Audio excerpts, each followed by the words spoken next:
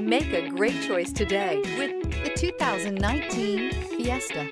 Ford will be offering a wide range of options and accessories on the Fiesta in a play to make the Fiesta highly customizable to fit the preferences of its drivers.